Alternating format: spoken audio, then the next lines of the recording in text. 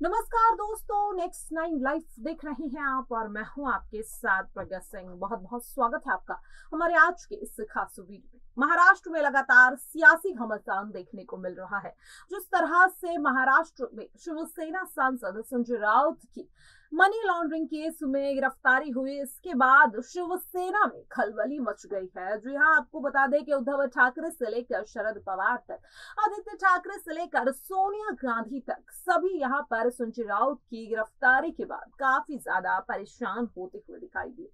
बता दें आपको कि जिस तरह से बीते रविवार को ईडी ने लगभग 10 घंटों तक संजय राउत से पात्रा चौल मामले को लेकर पूछताछ की, सवाल जवाब किए, लेकिन यहाँ पर संजय राउत उन सवालों के जवाब देते हुए नहीं दिखाई दिए। जिसके बाद आखिरकार ईडी के अधिकारियों ने संजय राउत को हिरासत में ले लिया, जिसके बाद से ही महाराष्ट्र में बवाल मचता हुआ दिखाई दे रहा है।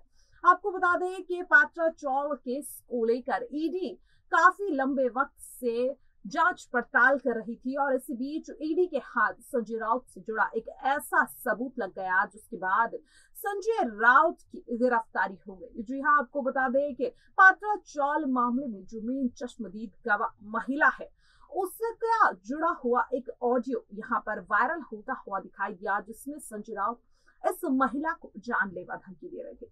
जैसे ही ऑडियो वायरल हुआ, उसके बाद तुरंत ईडी ने अपना शिकंजा संजय राउत पर कस लिया। पूछताछ के लिए ईडी के ईडी संजय राउत के घर पहुँची। वहाँ पर करीब 10 घंटे तक ईडी ने पूछताछ की और आखिरकार रविवार देर रात को संजय राउत को गिरफ़्तार कर लिया। आज उनकी पेशी होनी है कोर्ट में। जिस तरह से पेशी के लिए संजय राउत को ले जाया गया, इससे पहले उनका मेडिकल चेकअप करवाया गया। साथ ही यहाँ पर अगर बात करें शिवसेना प्रमुख और महाराष्ट्र के पूर्व मुख्यमंत्री उद्धव ठाकरे। उद्धव ठाकरे यहाँ पर संजय राउत के परिवार के घर पहुँचे। मुलाकात की संजय राउत के परिवार से, उनकी माँ से और जो परिवार भावुक था, कहीं ना कहीं उनकी उम्मीद बांधी, उन्हें भरोसा दिलाया कि उनके बेटे को कुछ नहीं होगा। इसी के साथ आपको बता दें, आदित्य ठाकरे और उद्धव ठाकरे ने बीजेपी और सीएम एकनाथ शिंदे पर जमकर निशाना साधा। जी हाँ यहाँ पर आदित्य ठाकरे ने शिंदे और बीजेपी पर हमला बोलते हुए कहा कि ये बीजेपी साजिश है। शिवसेना को पहले से ही तोड़ने की कोशिश लगातार बीजेपी कर रही थी और जब उसमें कामयाब नहीं हो पाई तो यहाँ पर संजय राउत पर ईडी का शिकंजा कसता हुआ दिखाई दिया।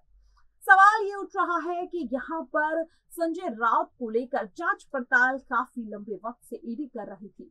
लेकिन आखिरकार ऐसा क्या हो गया कि जैसे ही महाराष्ट्र में नई सरकार बनी संजय राउत की, गिरफ्तारी हो गई, पात्रा चौल का मामला अचानक से सुर्खियों में आ गया, जो महिला चश्मदीद गवाह थी, उससे जुड़ा ये ऑडियो अचानक से सोशल मीडिया पर वायरल हो गया।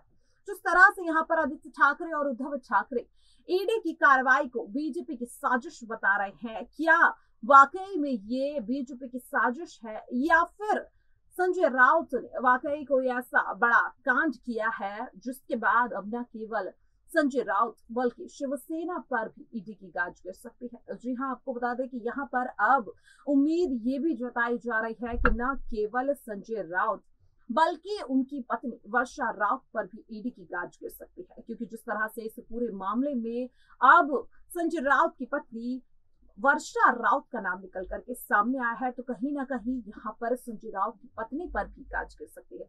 सवाल ये उठ रहा है कि क्या ये वाकई ईडी की कार्रवाई है या फिर बीजेपी की साजिश? कमेंट बॉक्स में अपनी राय ज़रूर बताइएगा। ऐसे ही तमाम अपडेट से जुड़े रहने के लिए देखते रहिए नेक्स्ट नाइन लाइव नमस्कार।